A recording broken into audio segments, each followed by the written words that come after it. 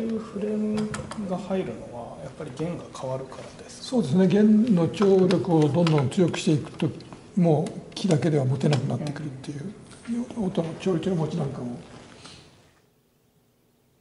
構造はねもう本当にあのシングルの突き上げ式でさっきのブロードとあの基本的には同じようなハンマーの大きさなんかがだいぶ大きくなってきます。やっ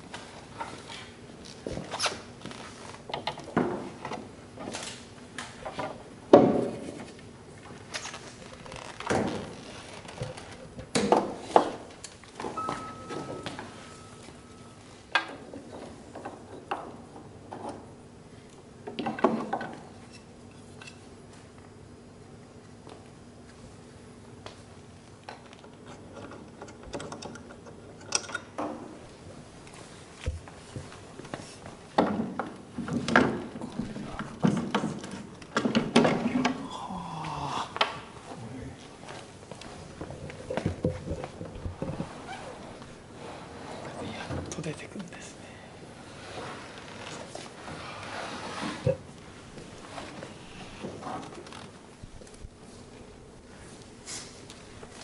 影響して、あの皆さん手を入れてますんで、